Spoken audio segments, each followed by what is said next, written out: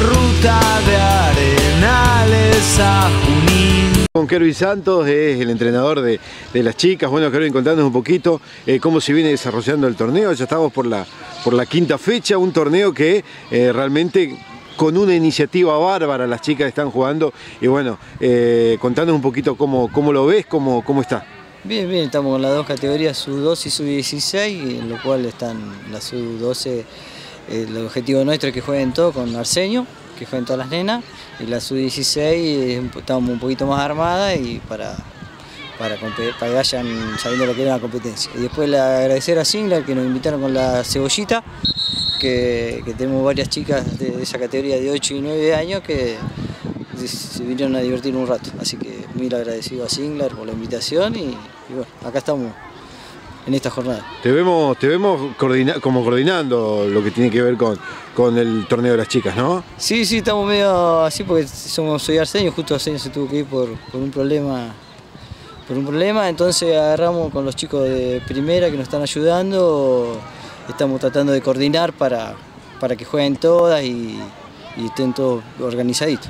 Y eh, gracias a Lugano y que es el, que el presidente de su comisión, con la señora y de otros chicos, y, a la, y al Club Arenal, al presidente Ugrotti. Kervin, ¿cómo continúa el torneo después de, la etapa regular o clasificatoria?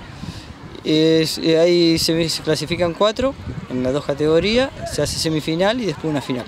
Bien, bien, así que bueno, ustedes están con, dentro de las posibilidades.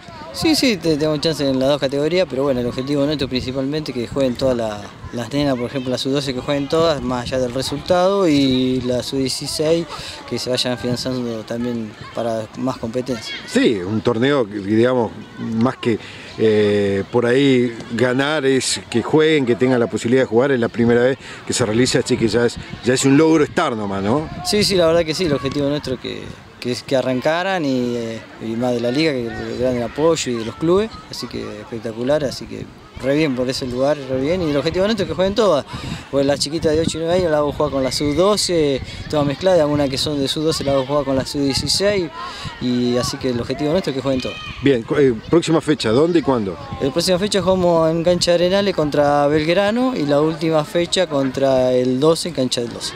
Gracias, Kevin. No, gracias a ustedes, muchas gracias por la invitación. El lugar donde nací es la ruta de